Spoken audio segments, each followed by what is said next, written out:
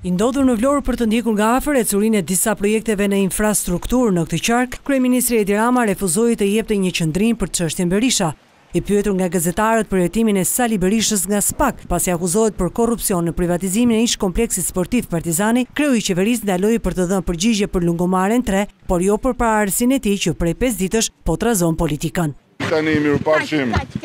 Që prej së shtunës ku ish-kryeministrit Sali Berisha i kërkohet të shkojë në gjykatë për t'u njohur me masën e sigurisë, por ai refuzon nën argumentin se është antikushtetuese, socialistët kanë heshtur.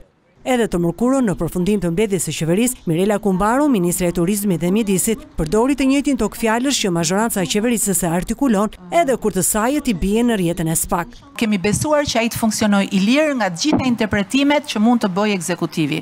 Heshti për atë që po ndodh me liderin historik të Partisë Demokratike, por jo për t'u thënë vlonjatëve se deri në pranverën e ardhshme, punimet për ndërtimin e Lungomare tre do të jenë mbyllur. Do ta çojmë Lungomaren, siç kam thënë, deri në fund të botës. Domethënë, një vlonjatë kur të niset, po dojë mund të shkojë deri në fund të botës.